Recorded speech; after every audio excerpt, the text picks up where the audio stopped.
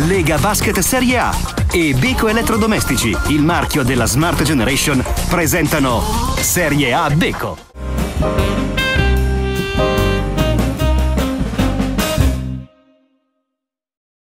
Distante Elettrodomestici, il più grande megastore expert della Puglia.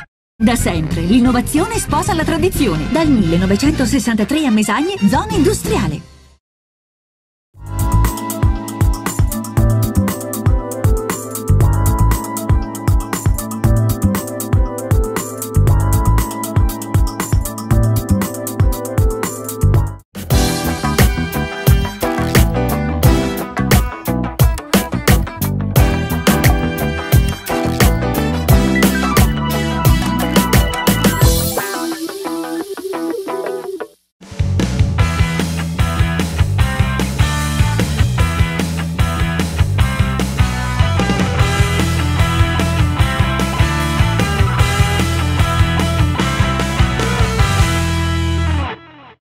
Tifosi brindisini ricorderanno a lungo questo 29 dicembre. Ancora una volta l'Enel Basket Brindisi ha battuto i campioni d'Italia della Montepaschi Siena, è finita 71 a 67 nel posticipo trasmesso in diretta da Rai Sport. È in testa alla classifica una situazione assolutamente imprevedibile. Cinque squadre a quota 18 e fra queste c'è la formazione di coach Piero Bucchi. Una serata indimenticabile per il basket brindisino che dunque torna in vetta alla classifica della massimo campionato. Vi raccontiamo tutto in questa puntata di terzo tempo.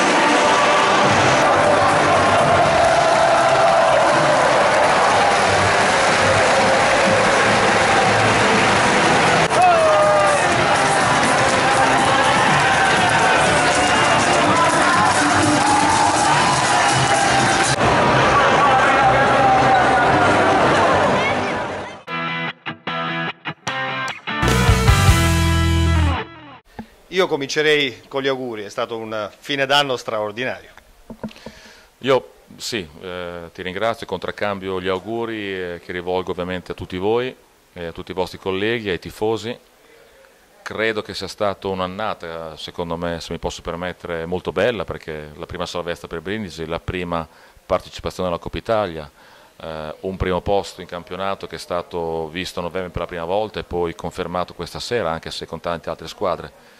Quindi credo una bellissima stagione, credo eh, solare per la pallacanestro. Eh, sono felice della vittoria di stasera perché veramente mi sarebbe molto dispiaciuto chiudere l'anno con una sconfitta, la volevamo fortemente, i ragazzi hanno lavorato veramente molto duro, molto intenso e il risultato ci appaga, mh, ci, ci, fa contenti, eh, però credo che sia un risultato anche che ci dà possibilità di guardare con serenità al lavoro delle settimane prossime. Insomma, ci hai preso gusto a battere la Montepaschi Siena, i campioni d'Italia. Sì, non ce l'ho fatta quando ero a Milano per la verità, ma parliamo, parliamo di un'altra squadra onestamente, di un gruppo di giocatori che in passato onestamente era veramente straordinario. Quella adesso è un'ottima squadra eh, e comunque la gara stasera era veramente difficile anche perché venivamo da un momento un po' eh, delicato, volevamo dare una scrollata al momento un po' così, ce l'abbiamo fatta con grande determinazione e siamo riusciti a fare una partita direi di buona intensità e portare a casa due punti eh, conquistati con una buona difesa. Praticamente ufficialmente senza Amino, ossia senza il centro titolare. Sì, credo che probabilmente questa era la sua ultima partecipazione con noi a Brindisi. Ringrazio il giocatore perché comunque è un ragazzo eccellente, una brava persona, onesta e corretta. Non ha trovato qua probabilmente il feeling per riuscire a fare e dare un contributo alla squadra che lui voleva e che ci aspettavamo.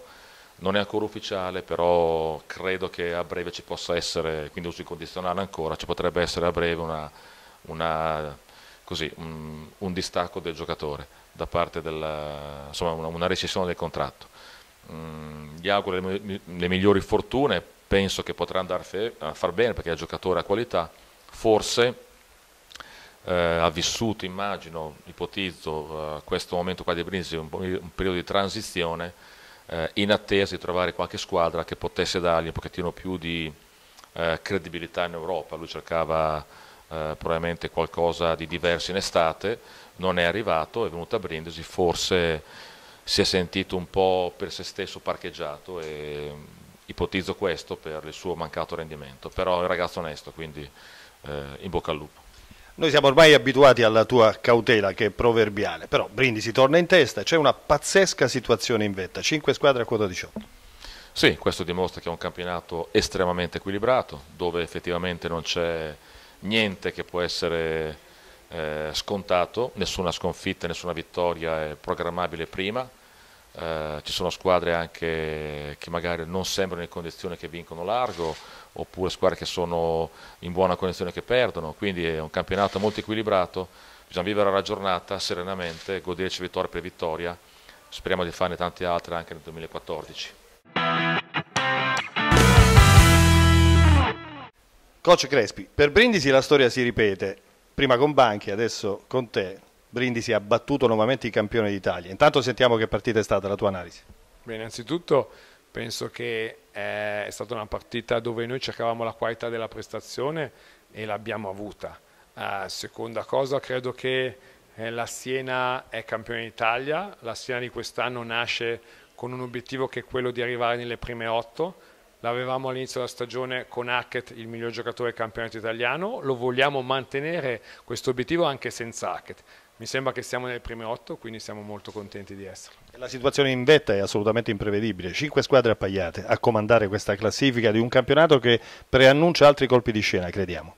Credo che ci sia l'equilibrio, si decide sui singoli possessi e questo penso sia bello per tutti da guardare. Stai vivendo questa esperienza da head coach di Siena?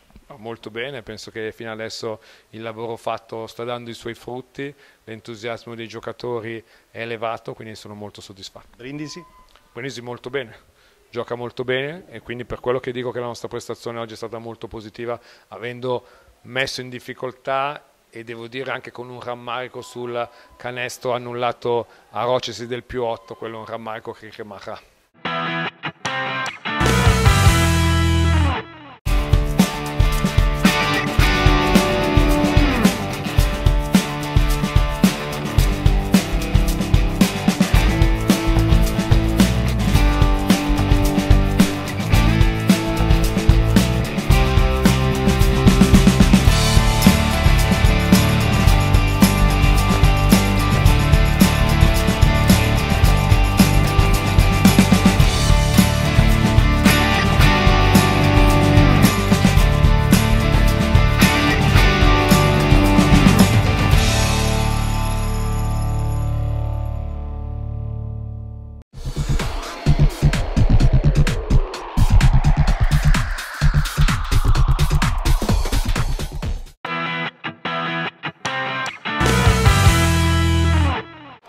Una serata veramente memorabile per il basket brindisino, capitano.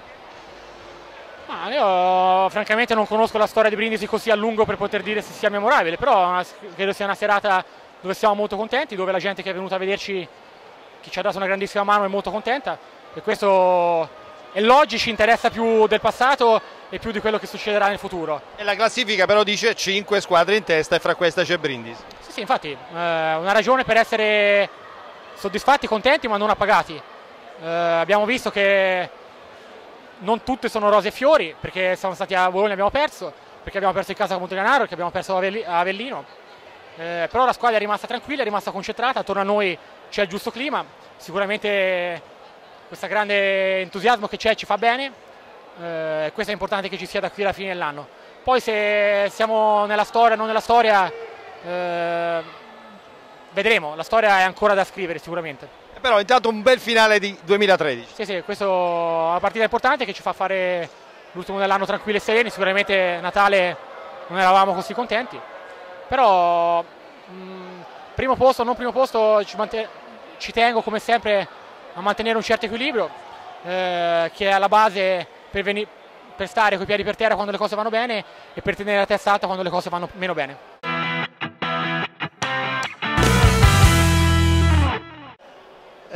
Bino Taveri, Massimo Ferrarese, i tifosi che strillano Ferrarese ce l'abbiamo noi o solo noi non lo so.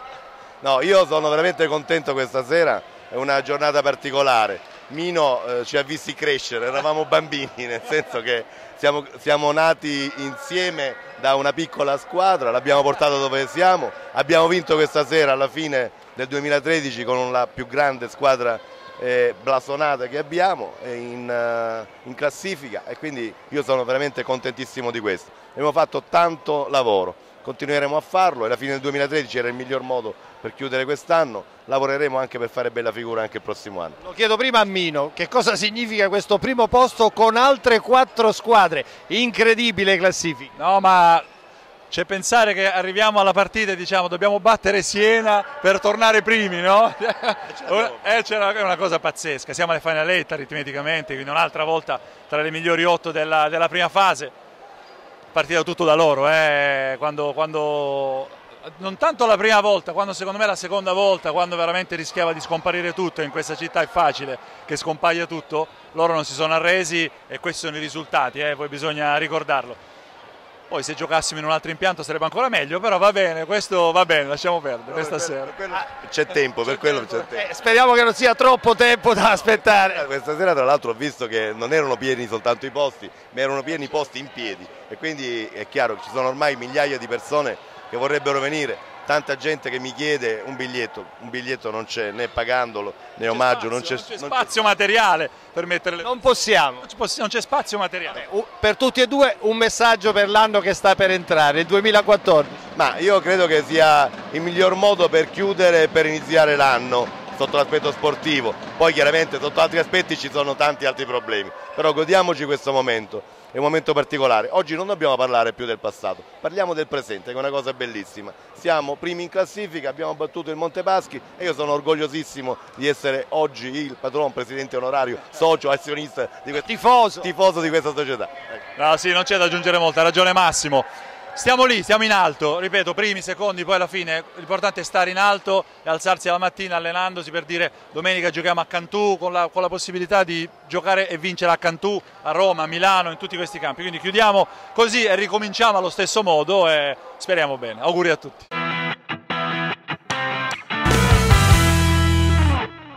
Mario, come si può raccontare da inviato questa vittoria ancora una volta storica per Brindisi? È una bella, una bella, partita, soprattutto dal punto di vista appunto, emotivo. Brindisi cercava questo successo per, per appunto, ritornare al primo posto e ho visto una squadra che anche se ha dei giocatori ancora un po' con degli alti e bassi, però ha un grande carattere, una grande voglia di vincere, è un, è un James assolutamente spettacolare. Ed è un fenomeno che continua da queste parti? È un fenomeno che continua da queste parti e ora aspettiamo solo che il GM Giuliani riesca a prendere un buon giocatore a posto di Amino con un lungo vero questa, eh, insomma, questa squadra può sicuramente fare bene e restare nei quartieri alti della classifica che è un po' diciamo, l'obiettivo del club a questo punto della stagione. Final 8 già acquisita, però, però sì, però insomma bisogna restare nelle prime 4-6 posizioni a contatto con le primissime, ormai la classifica man mano, anche se c'è gran, un grande gruppo sopra, si sta via via delineando, quindi Brindisi ha tutte le potenzialità, ripeto, con un lungo nuovo, con un giocatore di sostanza per restare a vertice. Titolo? Titolo vediamo, vediamo ancora titolo comunque sicuramente su James perché è un giocatore straordinario per me, soprattutto stasera.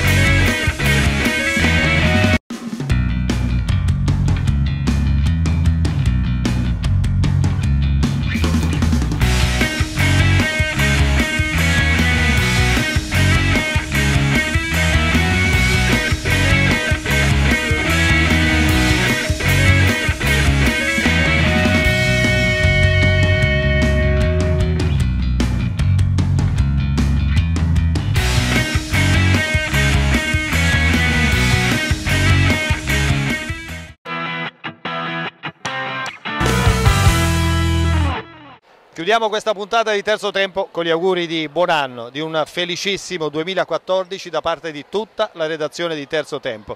Grazie per l'attenzione che state dedicando al nostro impegno, vi diamo appuntamento al 6 gennaio quando vi racconteremo la trasferta di Pesaro. Brindisi è nuovamente capolista insieme con altre quattro formazioni a quota 18. Brindisi ha vissuto un'altra indimenticabile serata di pallacanestro. A presto!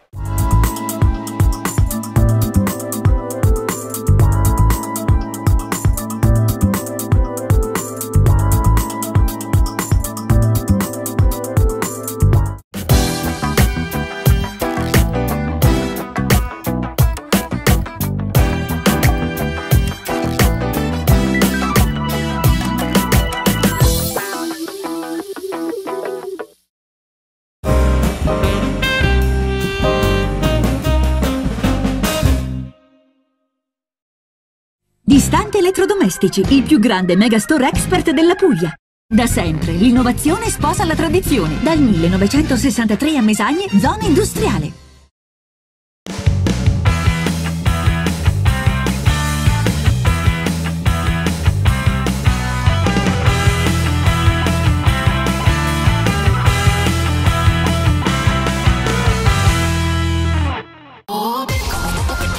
Lega Basket Serie A e Beko Elettrodomestici, il marchio della Smart Generation, hanno presentato Serie A Beko.